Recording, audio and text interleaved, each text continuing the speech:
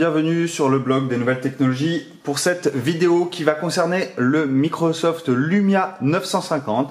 Alors qu'est-ce que ce smartphone? Eh bien c'est tout simplement le premier smartphone haut de gamme que Microsoft sort euh, après avoir acquis donc la division mobile euh, de Nokia, donc la famille Lumia. Donc on a eu quelques quelques périphériques euh, quelques smartphones euh, auparavant, donc euh, des, des Lumia, notamment le 640 que vous avez pu découvrir sur le blog NT. Mais là, on est passé sur un smartphone haut de gamme, de par son prix, mais également par ses spécifications, comme vous allez voir dans la suite de cette vidéo. Et donc, on se retrouve ici donc avec un smartphone, eh bien, qui va tenter de rivaliser avec les smartphones haut de gamme, et notamment, on pense au Galaxy S6 de Samsung, ou encore évidemment à l'iPhone 6s de d'Apple. Et Microsoft eh bien, va tenter euh, de, faire, euh, de faire une petite percée sur le marché du mobile parce que vous savez qu'actuellement euh, ce marché est dominé par Android et iOS. Windows Phone est aujourd'hui à la troisième place mais a une part de marché qui est vraiment petite par rapport aux deux géants précédemment cités. Et donc du coup, eh bien, on s'attend à ce que Microsoft revienne en force sur ce marché. Donc d'une part avec ce Microsoft Lumia 950 mais également son grand frère, le euh, Lumia 950 euh, XL, donc que vous découvrirez euh, prochainement sur le blog. Et puis d'autre part, eh bien par son système d'exploitation qui se veut assez novateur puisque on est sur du Windows 10 mobile qui est dans la continuité de ce que Microsoft a lancé sur la version bureau, donc la version Windows 10. comme vous allez le voir, eh bien elle elle partage beaucoup de similitudes avec euh, euh, l'OS euh, dédié au bureau. Et donc on va retrouver eh des fonctionnalités que vous avez l'habitude d'utiliser sur votre ordinateur si vous êtes sur un si vous êtes sur un ordinateur Windows. Et vous allez également retrouver des fonctionnalités qui lui sont propres et qui vont permettre en fait de transformer ce smartphone en un ordinateur. Mais ça je réserverai pour plus tard pour vous expliquer un peu comment ça marche. Donc comme d'habitude, eh bien, je vais vous présenter un peu euh, cette boîte, donc euh, ce qu'il y a, euh, ce qu'il y a dedans, et puis on va faire un petit tour du propriétaire, on va faire un petit tour de ce smartphone et de Windows 10. Alors il faut savoir que sur la partie logicielle, eh bien, je vais être assez rapide. Je vais vous présenter en gros les grosses fonctionnalités, mais je ferai une vidéo dédiée en fait à Windows 10 mobile par la suite, qui vous permettrait eh bien d'en apprendre un peu plus sur sur cet OS, parce que c'est vraiment la première fois euh, que je peux mettre la main euh, sur celui-ci. Et donc du coup euh, il me semble opportun à contrario de iOS ou Android où vous connaissez forcément toutes les fonctionnalités à force de l'utiliser. Mais Windows 10 mobile est tout nouveau. Donc je vais considérer que eh bien il est important pour moi de vous faire une petite vidéo spéciale OS donc ici on va rester en assez assez haut niveau sur les explications donc concernant la boîte, eh bien on est sur une grosse boîte euh, rectangle ou carré, on peut dire. Je sais même pas si elle est carrée, mais en tout cas elle est, rectangle, on va dire. Euh, on a ici en façade donc notre fameux euh, Microsoft Lumia 950. Alors ici, on est euh, sur le modèle euh, noir, donc c'est euh, une coque toute noire. Vous verrez qu'on a plusieurs modèles pour ce smartphone. On a la mention donc du Microsoft Lumia 950 en haut. Sur le côté, on a encore un rappel ici du Microsoft Lumia 950. Donc la petite boîte a pris un petit pet, mais ne vous inquiétez pas si vous l'achetez en boutique, vous n'aurez pas ce souci-là. Et à l'arrière, eh bien, on retrouve euh, quelques pictogrammes sur euh, le smartphone, donc notamment ce qu'il contient dans la boîte. Donc on va retrouver évidemment le smartphone, la batterie, un, câble euh, pour connecter le smartphone à l'ordinateur, une recharge murale et une petite information de notice. On a évidemment la mention Windows et la mention comme quoi on est sur un processeur euh, Snapdragon de chez Qualcomm. Et enfin ici on a un visuel donc de ce smartphone ici et on a le modèle ici en blanc. Donc vous allez avoir deux modèles, le modèle noir et le modèle blanc. Donc pour il suffit ici de retirer la trappe et on se retrouve en fait nez à nez donc avec notre smartphone que vous voyez euh, ici. Donc le modèle que j'ai reçu, donc on est sur un modèle noir. Donc il faut savoir que le, smartphone 950, euh, 950 pardon, blanc est exactement le même, sauf qu'à la place de la coque arrière, eh bien, un noir, vous aurez une coque arrière en blanc, tout simplement. Ensuite, dans cette boîte, eh bien, qu'est-ce qu'on retrouve? Deux petites choses. Donc ici, sous le téléphone, on a une petite notice euh, sur euh, guide d'installation, comment, euh, comment démarrer avec ce Lumia 950. On a également les règles de d'assurance, enfin de d'assurance pour, pour ce smartphone. Et ensuite dans la boîte, eh bien, on va retrouver ici un cordon, donc un cordon qui va être spécial. C'est en gros pas un cordon USB micro USB comme vous avez l'habitude, mais on est sur la nouvelle technologie. Alors je sais pas si vous allez le voir, le focus, il a un peu de mal à se faire. Voilà, on est sur un cordon en fait qui est USB euh, Type C. Donc c'est tout simplement la nouvelle connectique euh, qui entre un peu plus en vigueur aujourd'hui sur le marché. Et euh, c'est ce qu'on appelle un, câble USB euh, réversible, c'est-à-dire que vous allez pouvoir le brancher de n'importe quel côté en fait sur votre smartphone puisque celui-ci eh bien voilà, vous avez plus à savoir dans quel sens vous branchez le câble parce que eh bien ce sont c'est la même connectique en fait que vous voyez en haut et en bas vous avez du mal à le voir, mais euh, en tout cas, on est voilà, on est sur quelque chose de euh, arrondi en fait des deux côtés qui est strictement identique. Et du coup, ça c'est une grosse nouveauté en fait, ce câblage, euh, ce câble USB Type C. Et Microsoft a eu l'excellente idée eh bien de l'inclure dans son dans son nouveau smartphone. De l'autre côté, eh bien on retrouve le port USB classique pour eh bien connecter votre smartphone en fait à votre ordinateur. Ensuite dans la boîte, on va retrouver un autre cordon, donc cette fois-ci euh, le cordon d'alimentation. Donc pareil, on a ici euh, l'embout USB type C et on a euh, la prise murale de l'autre côté. Alors me demandez pas pourquoi on n'a pas classiquement un, une prise murale qui se défait, on a deux, deux câbles différents, euh, peut-être pour des raisons euh, plutôt pratiques, puisqu'il est assez facile d'emmener euh, ce câble, et quand vous êtes à la maison, eh bien vous laissez cette prise sur votre secteur, et comme ça, eh bien vous pouvez trimballer ce câble et le laisser dans votre sac sous peine de, de, ne pas pouvoir recharger lorsque vous êtes en déplacement, et puis garder cette prise murale chez vous si vous le souhaitez. Donc voilà un peu pour le parti packaging. Donc vous, comme vous le voyez, en fait, on n'a pas d'écouteurs en fait euh, dans, dans, la boîte. Alors, euh, est-ce que c'est euh, est-ce que c'est un souhait de la part de Microsoft? Est-ce que c'est un oubli? Je ne sais pas. En tout cas, le modèle que j'ai reçu n'en a pas. Il faut savoir que le modèle que j'ai reçu également, le 950 XL, n'a pas d'écouteurs. Alors, il me semblait que c'était obligatoire d'en avoir en Europe, enfin du moins en France. Euh, peut-être que ici ce sont les versions internationales. Euh, il faudra que je creuse un peu plus, mais euh, à ce jour en fait il n'y a pas de, j'ai malheureusement pas de, de câble audio, donc je pourrais pas vous les présenter si ceux-ci viennent en vente par la suite dans la boîte. Donc voici notre fameux Lumia 950. Donc on est sur quelque chose eh bien qui ressemble quand même à du Lumia, notamment eh bien par son aspect plastique donc euh, vous avez l'habitude. Alors les coloris sont un peu moins euh, flashy que euh, les Lumia 640 notamment où on a un, orange qui est assez vif. Ici on est sur, vous voyez, une texture assez mate. Donc là on est sur le noir. On a également le modèle blanc qui est identique. Concernant euh, ces dimensions, eh bien, ce smartphone mesure 145 mm de haut, 73,2 mm de large et il a une épaisseur de 8,9 mm. Donc c'est plus épais euh, qu'un iPhone, il faut le savoir, ou qu'un euh, Galaxy S6, mais ça, il reste quand même relativement agréable une fois tenu en main. Concernant son poids, on est sur un poids de 150 grammes, donc là encore c'est vraiment agréable. Après, euh, ce qu'il y a à noter euh, sur ce smartphone, eh bien, c'est le plus petit modèle des deux, évidemment. On n'est pas sur le modèle phablette comme vous verrez avec le 950 XL. Et donc, du coup, il reste très agréable à prendre en main. Vous voyez ici, euh, je peux facilement accéder à la navigation. rien qu'avec le pouce, je peux, sans souci, d'une seule main, utiliser en fait le smartphone.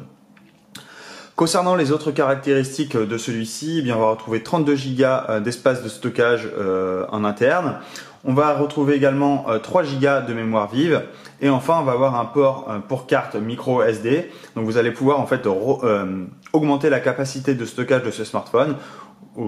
À ce jour, en fait, c'est une très bonne opportunité puisque vous savez que beaucoup de smartphones excluent le port micro SD, donc vous devez faire avec la capacité de stockage du smartphone.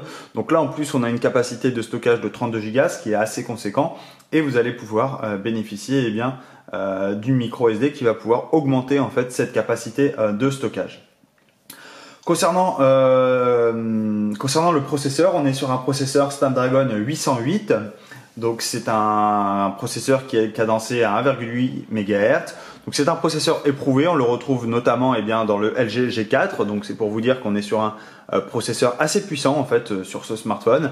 Et ça permet eh bien, à celui-ci d'avoir d'excellents rendus. Et notamment eh bien, lorsque vous allez jouer ou quand vous allez regarder des vidéos, vous allez avoir aucun problème de ralentissement sur ce smartphone.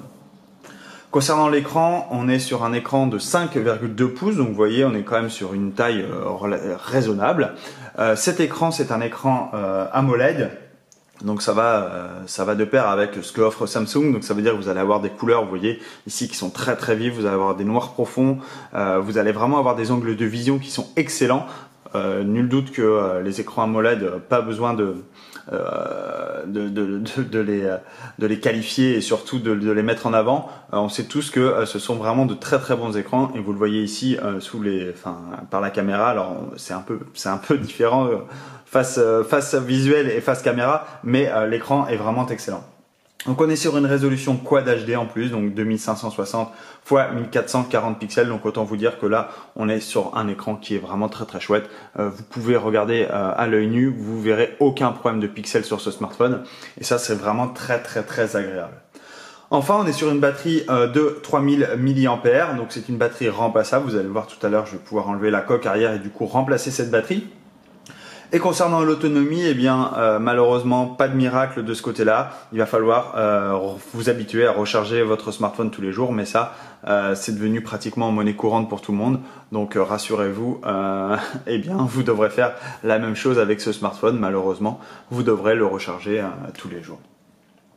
Voilà un peu concernant rapidement les spécifications internes du smartphone. Évidemment, il y a toute la partie caméra, mais ça, je vais en parler quand je vais faire un peu le tour du propriétaire. Donc passons justement euh, à ce smartphone. Passons à la tranche inférieure. Alors je vais essayer de vous la montrer. Euh, voilà ici.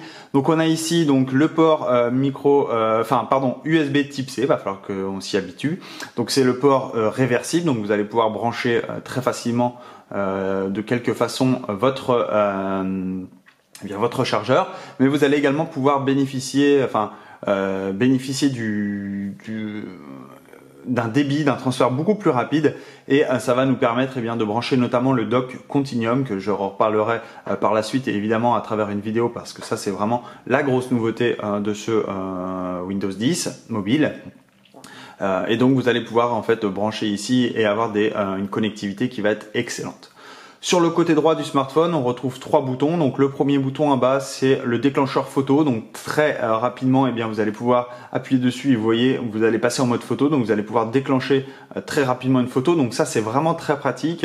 Euh, personnellement, je l'utilise assez régulièrement puisque généralement les photos, on veut les prendre assez vite et donc du coup, il me suffit d'appuyer sur ce bouton et automatiquement, eh bien, je me retrouve dans l'application photo. J'ai pas obligé de chercher dans les dans les différentes grilles l'application. C'est vraiment très très pratique. Ensuite, on a le bouton euh, Power qui est placé au milieu, donc très facile euh, d'accès. Vous voyez, je peux facilement verrouiller mon smartphone. Et enfin, le bouton de volume au bas euh, qui se retrouve juste au-dessus. Sur la tranche supérieure, on retrouve le port jack donc 3.5, donc qui va permettre eh bien, de brancher votre casque. Et enfin, sur la tranche latérale de gauche, on a une tranche complètement lisse puisqu'il n'y a aucun bouton ou port sur celle-ci. À l'arrière, eh bien, on se retrouve donc avec notre fameuse coque. Donc, on est sur une coque en plastique. Donc, ça, c'est un peu euh, le défaut, enfin, le gros défaut en fait de cette conception de ce smartphone, selon moi. Euh, on est j'ai pas l'impression d'avoir un smartphone premium comme on peut avoir avec le Galaxy S6 et ses euh, recouvrements en verre ou encore l'iPhone et son châssis métallique. Ici, on est euh, sur du plastique et euh, pour moi, le plastique, malheureusement, ça fait trop cheap. Après, c'est peut-être mon avis personnel, mais en tout cas, je trouve dommage que Microsoft n'a pas poussé encore un peu plus loin la conception de son smartphone en allant vers quelque chose de très premium. Alors, moi, je prends ça pour une version euh, pour un prototype en fait d'un futur smartphone que euh, Microsoft devrait lancer euh, en 2016 et qui lui sera premium avec un OS vraiment rodé. là, on est sur. il fallait que Microsoft sorte quelque chose, ils n'avaient pas le choix. Peut-être que voilà, ils n'ont pas pu avoir eu le temps de retravailler entièrement la conception de leur de leur Lumia, mais nul doute que que dès l'année prochaine ils feront autrement et j'en suis sûr qu'ils viendront à une coque qui sera plus en plastique et du coup on aura vraiment euh, l'impression d'avoir un smartphone très haut de gamme en main. puisque l'OS est vraiment très très bon. Alors c'est dommage que la partie eh bien conception n'est pas encore optimale à ce niveau-là. concernant donc cette coque arrière, ici vous voyez on a un capteur donc qui dépasse très légèrement de la coque. Alors on n'est pas comme sur comme sur l'iPhone où on dépasse complètement. Euh, c'est très léger, mais en tout cas euh, ici on a une légère petite bosse en fait sur cette coque arrière. Donc ici on a le capteur photo, donc le capteur photo principal, c'est un capteur de 20 mégapixels. Donc on a un zoom numérique au sein de celui-ci, c'est un optique avec 6 lentilles. On va retrouver la stabilisation optique de l'image. C'est un capteur euh, qui a une ouverture de focale de 1,9 et euh, qui permet eh bien de prendre des clichés vraiment de très bonne qualité. Vous verrez par la suite, je vais vous faire une petite euh, vidéo, euh, enfin une petite pardon présentation dans la vidéo, mais on a vraiment un capteur de très très bonne qualité sur ce smartphone, notamment dans les conditions de bon éclairage. Ensuite, on a un triple flash LED ici sur le côté, donc ça va vous permettre eh bien d'améliorer les conditions lors de faible éclairage. On a également la mention ici que c'est un capteur PureView Zeiss et enfin, on a le logo, euh, évidemment, les quatre petites fenêtres euh, qui nous rappellent euh, le logo de Microsoft. On a ici une grille de haut-parleur juste à la droite du capteur photo et c'est plutôt plutôt bien placé parce que vous avez très rarement le doigt sur cette grille donc aucun problème pour pour le son. Concernant cette coque, eh bien comme je l'ai dit tout à l'heure, elle est amovible donc vous allez pouvoir la retirer comme ceci. Donc là, vous avez accès donc à la batterie. Vous avez également accès donc ici au port euh, pour euh, la carte SD. Et enfin ici, vous le voyez, comme on a sur la petite étiquette, eh bien, on a accès à la carte euh, SIM. Vous allez pouvoir directement la brancher ici donc sur ce smartphone.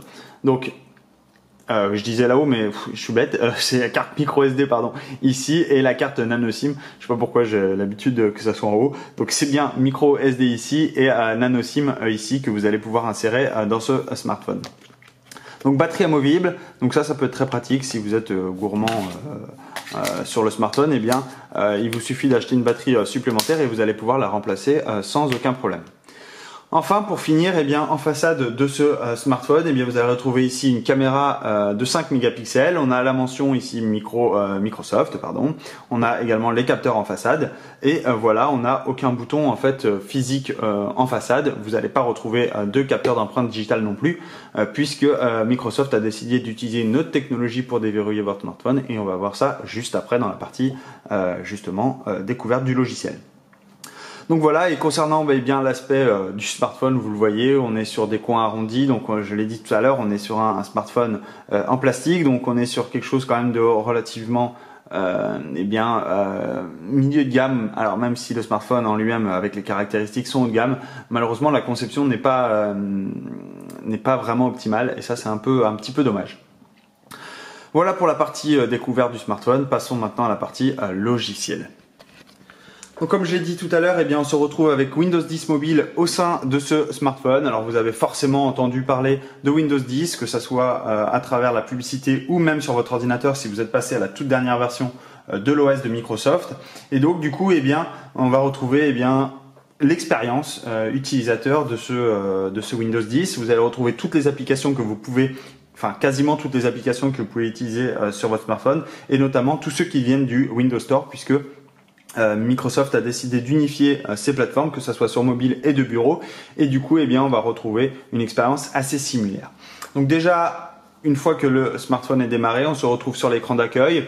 Là, aucune réelle nouveauté puisqu'on va se retrouver sur l'écran, euh, eh bien, avec nos fameuses tuiles, les tuiles que vous allez pouvoir, avec lesquelles vous allez pouvoir interagir. Il suffit de glisser le doigt dessus et vous allez pouvoir, euh, comme ceci, eh bien, déplacer votre tuile où vous le souhaitez et en gros faire votre interface.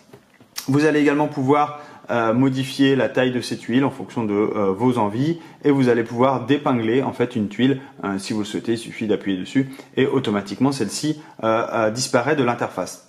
Donc ça aucune nouveauté là-dessus. Vous allez pouvoir quand même personnaliser l'apparence. Vous allez pouvoir changer en fait les couleurs de celui-ci. Donc pour ce faire, il suffit euh, d'aller dans euh, apparence, personnalisation, et là euh, sur l'écran d'accueil, eh bien vous allez pouvoir changer, mettre une photo d'arrière-plan, afficher plus de vignettes. Donc là, on a également l'aperçu. Vous allez pouvoir changer la couleur, évidemment, de, ce fond. vous allez pouvoir passer par exemple sur un jaune directement. Donc ici, voilà, toutes mes tuiles, eh bien, euh, ce couleur en jaune. Vous allez pouvoir changer euh, plein de plein de petites choses euh, qui sont directement accessibles en fait depuis depuis les paramètres. Ensuite, autre nouveauté, eh bien, ce sont ce fameux tiroir de notification que vous allez retrouver maintenant, eh bien, sur toute l'expérience Windows 10, même que si vous avez un ordinateur, vous avez ce centre de notification en fait qui va s'apparaître sur la droite. Eh bien, on a la même chose sur smartphone. Donc vous allez pouvoir accéder à toutes les notifications de votre smartphone, accès rapide à des fonctionnalités, par exemple vous allez pouvoir euh, euh, connecter rapidement un, device, vous allez pouvoir euh, activer l'économie d'énergie, activer la lampe torche, mettre le mode avion, mais ça vous en avez l'habitude, ce sont des raccourcis rapides, rien de plus traditionnel que sur un smartphone Android ou iOS. Concernant les paramètres, eh là encore, on est sur des paramètres qui ressemblent à, ce que l'on a euh, sur Windows 10 de bureau. Donc vous allez pouvoir euh, choisir les paramètres du système. Donc vous allez pouvoir notamment gérer euh, le chiffrement de l'appareil, le stockage, les notifications. Vous allez pouvoir gérer les périphériques associés à ce smartphone. Donc si vous allez ajouter un périphérique en Bluetooth, en NFC, une souris, etc. La partie réseau sans fil où là vous allez pouvoir connecter et voir la consommation euh, des données. Vous allez également pouvoir euh, personnaliser, donc ça on a vu tout à l'heure, l'écran d'accueil, les sons. Euh, vous allez pouvoir gérer les comptes, donc là vous allez pouvoir ajouter votre compte de messagerie, votre compte notamment si, vous si vous avez un compte Microsoft, vous allez pouvoir l'ajouter. Vous allez pouvoir régler l'heure et la langue, l'option d'ergonomie, la confidentialité, pardon, et des mises à jour de sécurité pour mettre à jour le téléphone lorsque celui-ci le réclame. Voilà un peu pour, euh, pour la partie euh, paramètres, euh, etc. Si on regarde l'ergonomie de lui-même de Windows 10, alors déjà on a donc cette interface avec les tuiles. Vous allez également pouvoir slider sur la droite, de, la droite vers la gauche ou de la gauche vers la droite pour ramener. Et ici vous allez avoir en fait la liste de toutes les applications qui sont installées sur votre smartphone. Donc vous allez pouvoir comme ceci eh bien rechercher très facilement des applications euh, directement depuis, euh, depuis cette barre de recherche. Euh, et là, vous allez avoir donc toutes vos applications que vous avez pu épingler. Alors, si vous les avez toutes épinglées, ce menu de droite ne sert à rien. Mais généralement, on a un menu qui est assez, un menu d'accueil qui est assez, assez concis. Et donc, du coup, vous serez bien content de retrouver cette liste d'applications. Concernant les applications en elles-mêmes, eh bien, vous allez retrouver évidemment euh, le fameux euh, clavier de téléphone, puisqu'évidemment un, smartphone sert avant tout à téléphoner. Vous allez avoir l'application donc de messagerie, donc vous allez pouvoir rédiger euh, des messages. Alors, hop, alors il suffit de regarder un petit peu euh, sur ce clavier pour voir qu'il y a eu euh, des modifications. Donc déjà, bon, on a un clavier, euh, j'ai envie de dire, assez traditionnel, mais vous avez ici, donc entre la lettre W et la lettre X, une petite, un petit joystick en fait, et qui va vous permettre eh bien, de vous déplacer dans vos mots. Donc par exemple, vous allez voir, je vais aller là, donc je vais faire des fautes exprès. Donc là, si je veux corriger, eh bien, je me déplace avec mon curseur, et vous allez voir, je peux en fait positionner mon curseur précisément à l'endroit où je le souhaite. Donc ça, ça va être très pratique, notamment eh bien, lorsque vous voulez corriger euh, un message, lorsque vous voulez corriger euh, une, adresse, euh, une adresse mail, une adresse internet, eh bien, vous allez pouvoir vous déplacer assez précisément sur votre interface. Vous allez retrouver donc le calendrier Outlook évidemment, qui est la partie agenda en fait de Microsoft. Euh, vous allez avoir votre courrier Outlook, donc euh, toute la gestion de tous vos mails, vos contacts. Vous allez retrouver donc Microsoft Edge, qui est euh, tout simplement le nouveau navigateur web de Microsoft. Donc vous avez connu Internet Explorer et maintenant vous allez apprendre à connaître Microsoft Edge.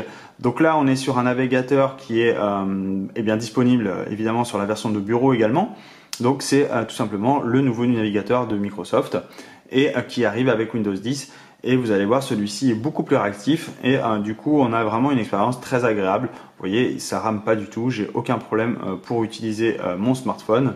vous voyez, j'ai, je peux eh bien naviguer, je peux ajouter de nouveaux onglets, etc. En fait, comme vous faites avec un navigateur traditionnel. Je vais également retrouver l'expérience Cortana. Donc Cortana, qu'est-ce que c'est? Eh bien, c'est tout simplement l'assistant numérique de Microsoft. Donc par défaut, eh bien, vous allez retrouver euh, des informations qui vous sont propres. Là, par exemple, je vais voir mon agenda.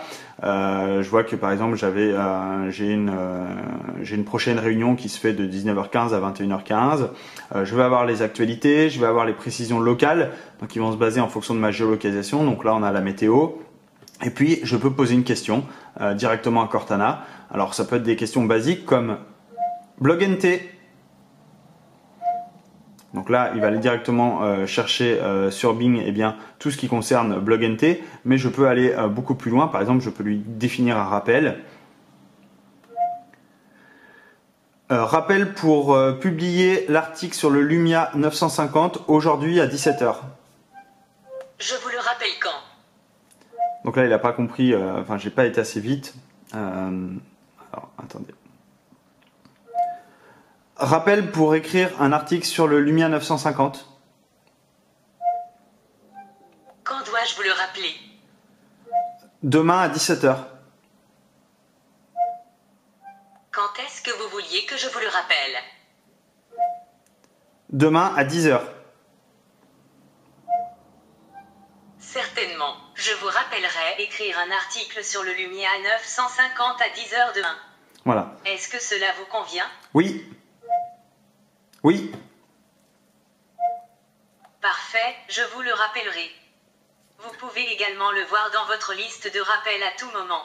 Donc voilà, donc là euh, j'ai enregistré en fait un rappel euh, directement avec la voix sans interagir avec le smartphone comme vous avez vu et automatiquement eh bien j'ai mes rappels euh, qui sont définis et voilà ici j'ai le rappel et je peux évidemment interagir avec celui-ci. Je peux le supprimer aussi et comme ceci euh, je peux euh, directement, donc par la voix, euh, poser plein de questions et surtout interagir avec, avec ce smartphone. Ça marche également avec les rendez-vous. Ajoutez un rendez-vous demain à 14h.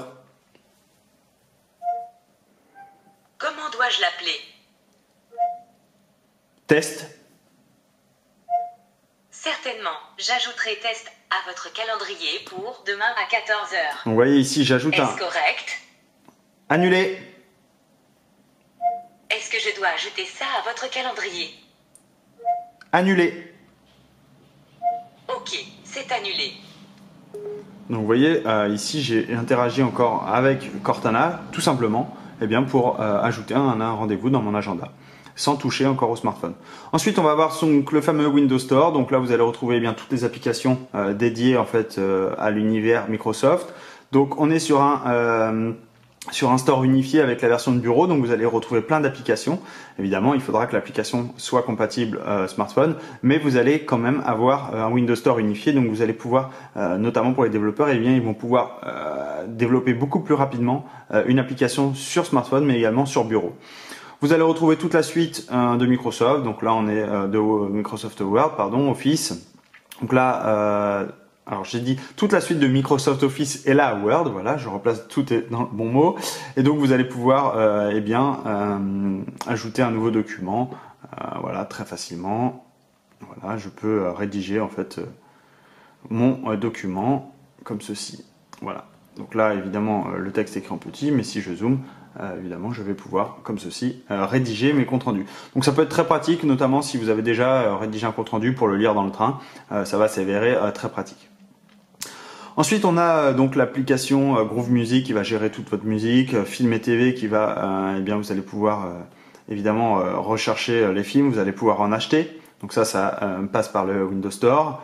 si on regarde la qualité en fait de la vidéo et du son, vous allez voir, c'est vraiment très très bon. Vous voyez, l'écran AMOLED quand même fait beaucoup. on est quand même sur, sur quelque chose de vraiment très très chouette si je passe en mode plein écran, vous voyez la qualité du son est également très très bonne.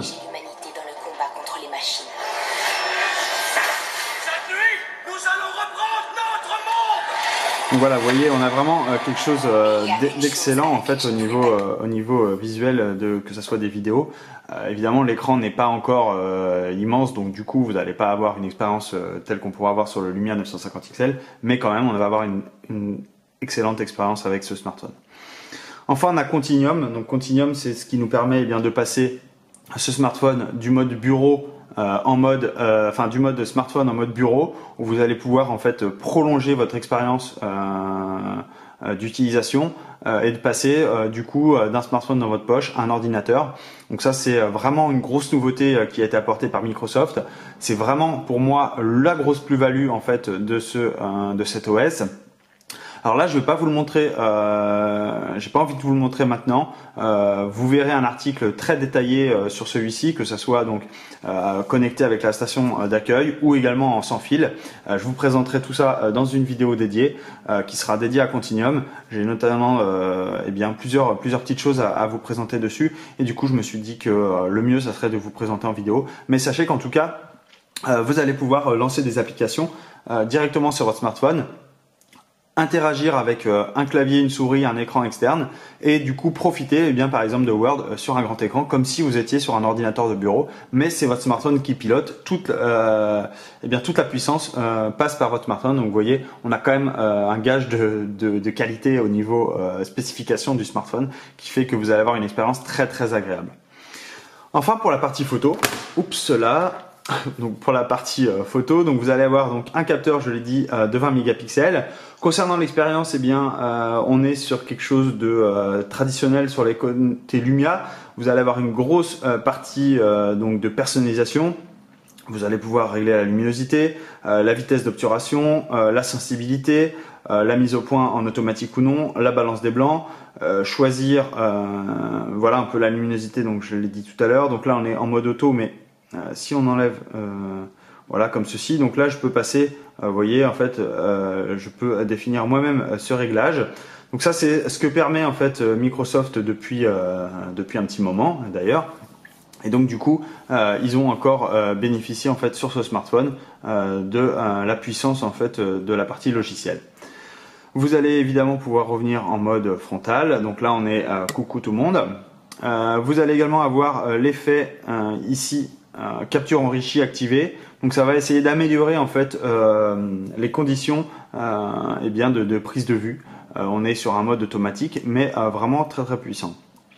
Ensuite, on peut choisir différents filtres. Donc là, euh, les filtres, eh bien, euh, comme à son habitude, il faut les retrouver sur le store. Donc en cliquant euh, sur Trouver d'autres filtres, eh bien, vous allez être redirigé vers le store. Donc il va vous permettre eh bien, d'en télécharger plusieurs. Donc si par exemple vous voulez prendre, je sais pas moi, une photo d'un d'un plat spécifique, eh bien peut-être que vous allez trouver un filtre en fait sur le Windows Store directement qui va vous présenter celui-ci. Donc là j'ai l'impression que voilà, la caméra avait bugué, euh, ça arrive. Euh, vous avez également le mode retardateur photo et euh, les paramètres où vous allez, vous allez pouvoir bien définir les proportions de votre photo, activer ou non le grille de cadrage, le format des photos, capturer les images animées, la vidéo. Donc là vous allez retrouver toute une panoplie eh bien, de formats disponibles pour la capture vidéo. La stabilisation vidéo numérique activée ou non, donc ça ça va impacter en fait sur, euh, surtout sur l'autonomie euh, du smartphone euh, si vous l'activez, mais si vous l'activez pas, eh bien vous allez avoir des vidéos qui risquent d'être un peu qui auront un peu la tremblote. Et pour passer en mode vidéo, eh bien, il suffit d'appuyer dessus et vous allez pouvoir enregistrer de la vidéo. Voilà, je pense avoir fait un peu le tour. Donc, comme je l'ai dit tout à l'heure, on est passé rapidement sur tout ce qui est spécification de Windows 10 mobile, mais j'y reviendrai prochainement dans une vidéo. Vous inquiétez pas, il y aura une vidéo dédiée à ce smartphone. Donc voilà, c'est fini euh, pour euh, le test euh, de ce Lumia 950. Donc vous retrouverez très rapidement l'article sur celui-ci, puisque j'ai déjà rédigé en fait l'article. Donc contrairement à, d'autres où je suis en retard, là j'ai rédigé l'article avant de faire la vidéo. donc ça va me permettre eh bien de publier la vidéo et très rapidement publier l'article en question. Et puis vous trouverez des échantillons de photos, etc., des, avis un peu plus un peu plus poussés dans cet article écrit. Donc voilà, c'est fini. Si je devais résumer euh, ce test de ce Lumia 950, eh bien, euh, malgré eh bien sa conception qui est un peu cheap, un peu, euh, eh bien, un peu dommage, enfin un, peu dommage, pardon, un peu, un peu, oui, de, de, milieu de gamme, on peut, on peut le dire ainsi. ça reste un excellent smartphone en termes de spécifications. La grosse plus-value pour moi, c'est Windows 10 Mobile. C'est évidemment la partie Continuum qui permet eh bien de prolonger l'expérience sur euh, sur un ordinateur de bureau. Donc ça, c'est vraiment euh, très très important. Et enfin, si on devait parler du, du prix, alors, on est sur un smartphone qui vaut 599 euros, donc nu. Donc, vous allez retrouver eh bien des forfaits qui vont permettre eh de baisser ce prix. Mais si vous l'achetez nu, donc ça veut dire que complètement euh, dédié d'opérateurs de, de, mobiles, eh bien vous allez devoir débourser 600 euros. Donc on est sur un prix assez élevé euh, d'un smartphone haut de gamme. Alors ça va de soi euh, de par ses spécifications, mais on s'attendait un tout petit peu plus sur la partie conception et notamment sur cette coque en plastique qui pour moi est un peu rédhibitoire pour un smartphone haut de gamme. Voilà, comme d'habitude, si vous avez des questions, n'hésitez pas à me les poser, j'y répondrai avec grand plaisir. Et surtout, euh, surveillez bien la chaîne du blog NT, car vous l'avez compris, euh, vous allez retrouver plein d'infos euh, sur ce Windows 10 mobile, mais également sur ce display dock, qui est donc la connectivité qui vous permettra bien de bénéficier de Continuum, mais également sur le Lumia 950 XL que vous voyez ici, que j'ai également reçu et donc je remercie Microsoft d'ailleurs pour ces tests parce que ça nous permet eh bien de tester très rapidement euh, toutes les nouveautés de Microsoft et ça c'est plutôt euh, plutôt très très sympa de leur part.